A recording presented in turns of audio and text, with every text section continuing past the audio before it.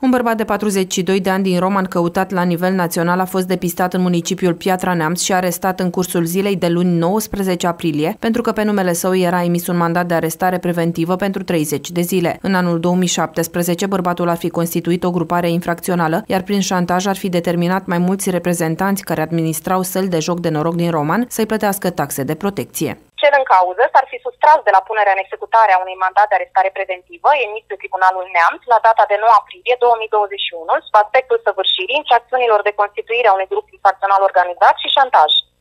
În fapt, în cursul anului 2017, cel în cauză, împreună cu mai multe persoane, s-ar fi constituit într-o grupare infracțională organizată, bazată pe relații familiale și prietenii apropiate, al cărei scop ar fi fost obținerea unor foloase injuste prin acțiuni de amenințare și intimidare,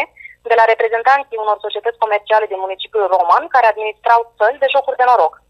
Aceștia ar fi amenințat cu acte de violență atât angajații care își desfășurau activitatea în țările respective, cât și clienții.